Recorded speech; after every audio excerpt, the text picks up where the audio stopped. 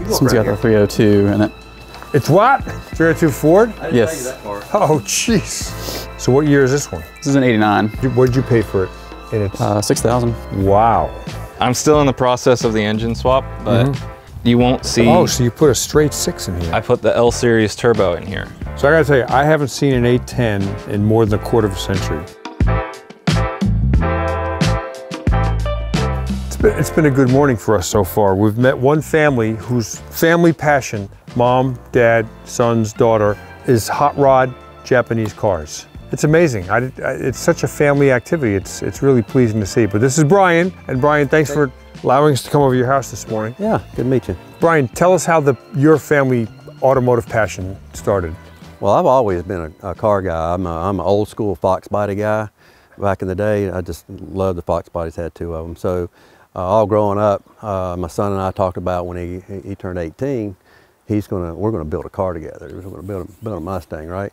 So, when he turned 18, um, he told me, he said, Dad, I want a Supra. So, I, s- and then I told him, I said, the only way you're gonna make horsepower is with a V8, right?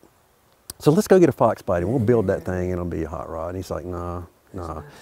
We go to shows, right? With his Supra. with his Supra. yeah. Uh, my wife, his mom, uh, super into it. So it's a family thing. So here he is, 19, 20 years old.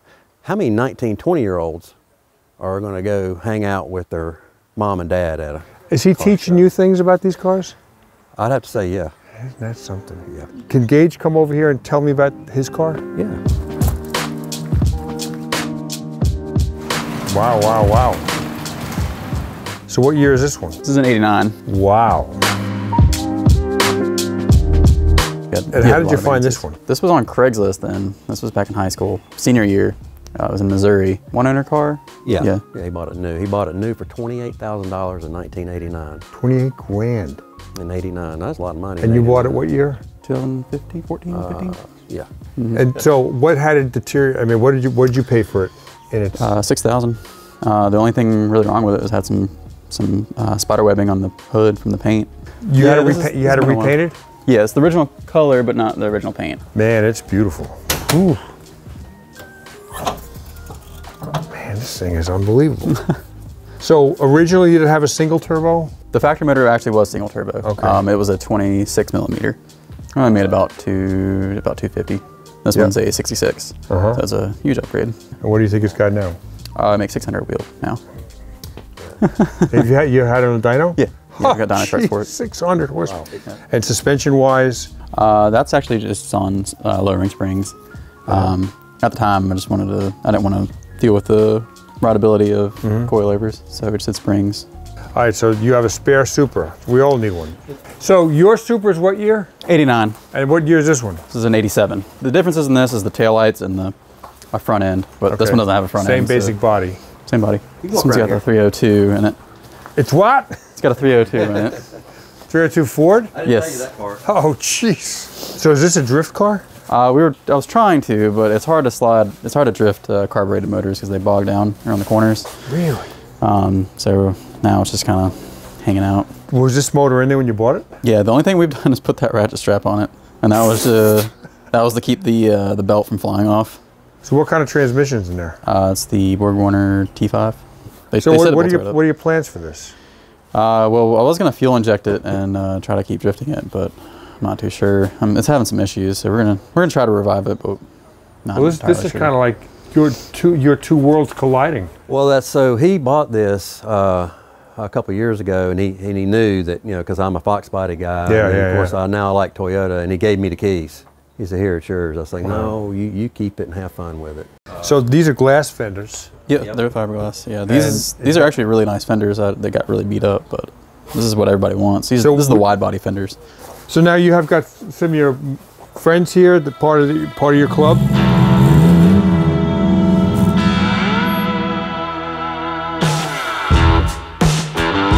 So your name is Cameron. Cameron. Okay.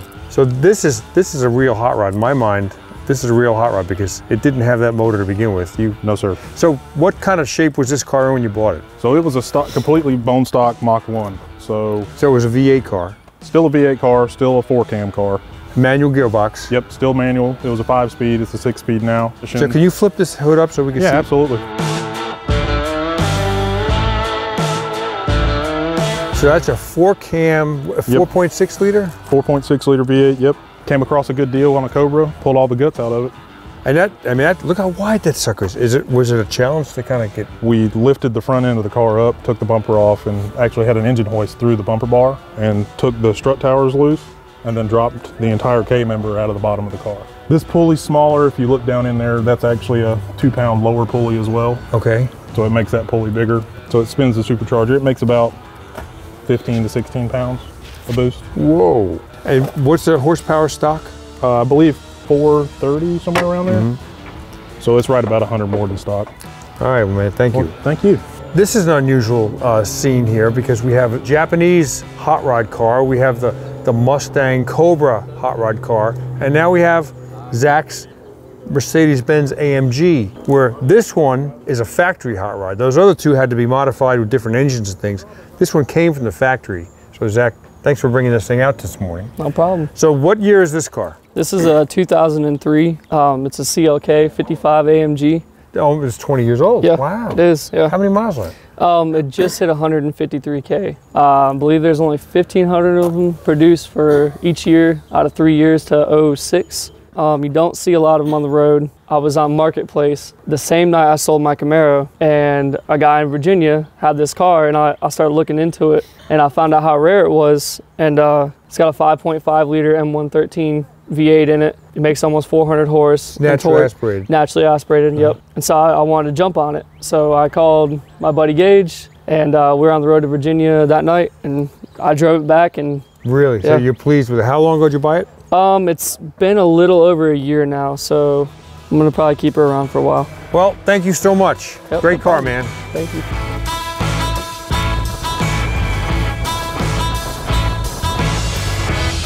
It's been an amazing morning where a lot of families we've met are into it as a family activity. Now we're over Shea's house, a few miles from where we were. We're in Rock Hill, South Carolina, and he's into cars that I kind of get it. Like this is my this is my generation stuff.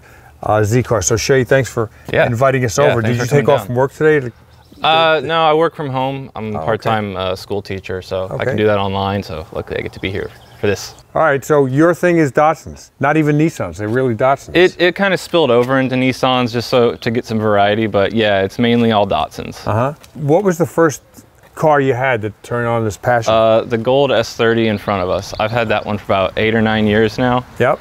And it's been kind of a slow learning process. But I rebuilt everything on it, learned uh, how to do everything myself, cut, weld. So this car was a stock Z car when you got it, Yes. and now it's now it's com- very hot rodded, I guess. Yeah. So what did you weld on it?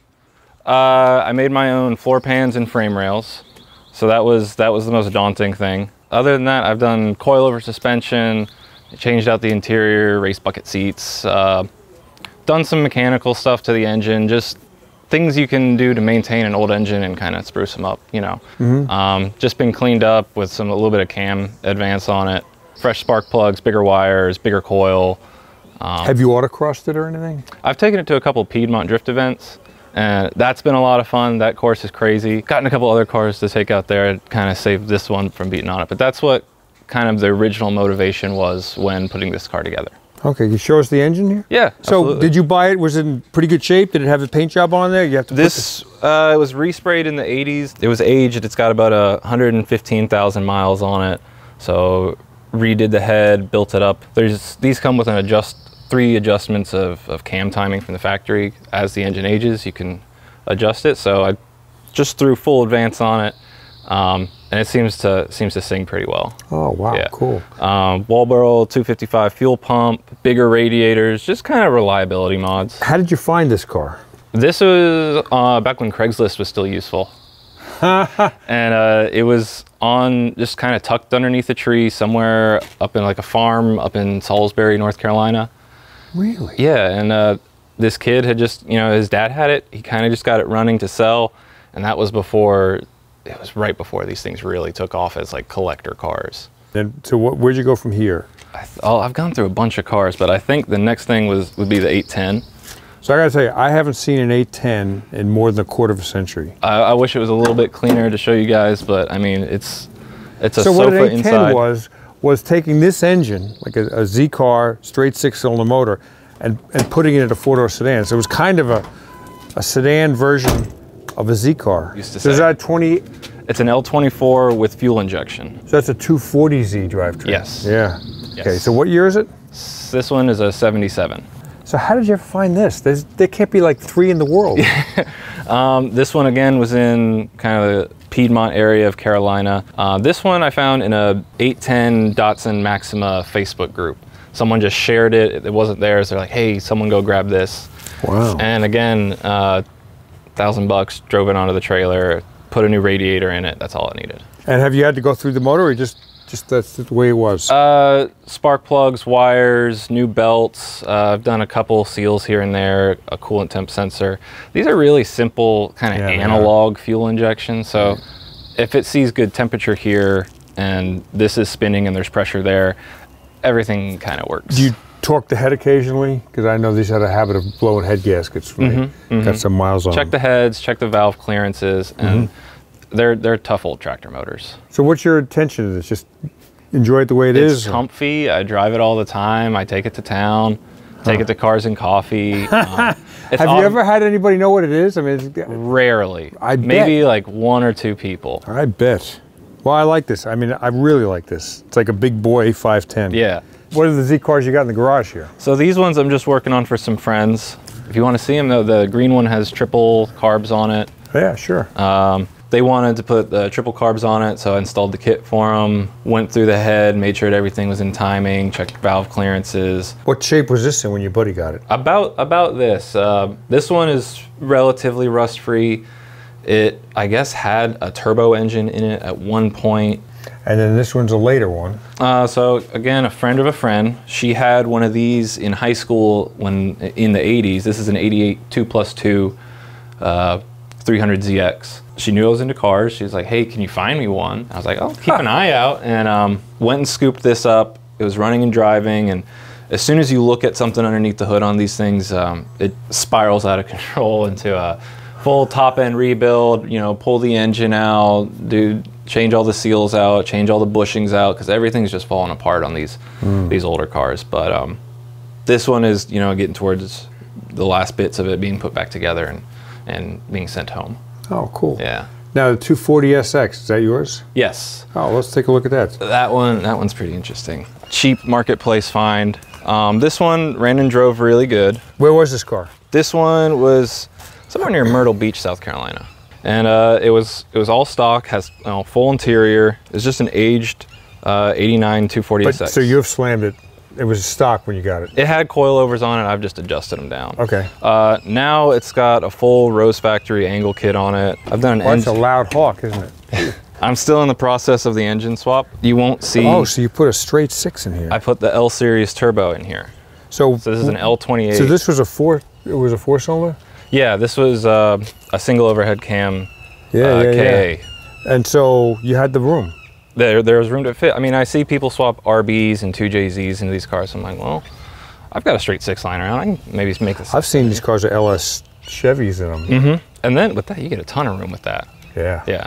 So this one, this is what I'm really excited to, to have rip around. No kidding. Is this manual transmission? Yeah, five speed. The Uh-huh. original five speed from the car adapted to run with the older engine.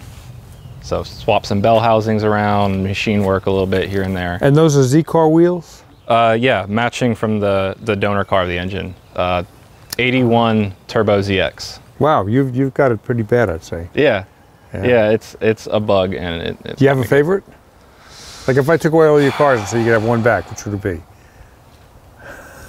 Oh man, it's like which which kidney do I need? Yeah, yeah. You know, I've cut my teeth the most on that gold one, but honestly, I think the 240 would take it. Yeah, just because the uniqueness of the swap and Mm-hmm. from a driving perspective, these chassis are really nice. Yeah. They're comfortable for daily driving and they're very sporty. So like I see a driveway and a garage full of cars. How did this sickness happen? Uh, I think Hot Wheels were like the first trap that, that got me into this. I remember seeing a Datsun at a car meet when I was probably like 12 years old, and it was in rough shape. It wasn't painted, it was dented. It was running on like four cylinders, but the shape of it just really caught my eye. That that's kind of what fueled it for me to find one later on. Yeah. I had a poster from old Super Street magazines of, of that on the wall, and then I found the gold one, and I was like, I'm in. uh, it's just it's just a rabbit hole from there. Yep. Well, I appreciate you letting us come and share your uh, collection here. Thanks- Absolutely. thanks so much, man. Yeah. And I hope you've enjoyed another episode of Barn Find Hunter.